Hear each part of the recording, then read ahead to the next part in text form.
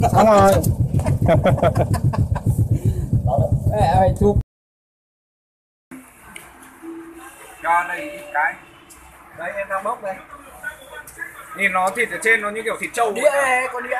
Vẩy phát này cái đĩa đây để tội gì để. Không sao đâu bạn ạ? Không sao. Đấy. À, nhìn ở trên thịt nó đen như thịt cho trâu. ông anh có ba cục lăng xê rồi ông đánh hai cục được con à, trôi 5 cân mấy anh em lại phải ngồi uống rượu. Đấy là lăng xê combo cho anh em đấy. Hay là vẩy vớt rau ra cái này ông anh ông ấy đánh à, em mà hai cục ba cục thì đánh hai cục. Hai cục hai vẩy con một con trôi một cân sáu một con 5 cân. Đang làm thịt có 5 cân đây. Em mà hầm ở nhà ấy anh anh thích ạ? Thơm ngon bổ dưỡng. Ăn công nhận con đánh này ngon thật. em. Khứa, khứa nó khoảng mấy vết em sát gia vị Hanım bir dakika.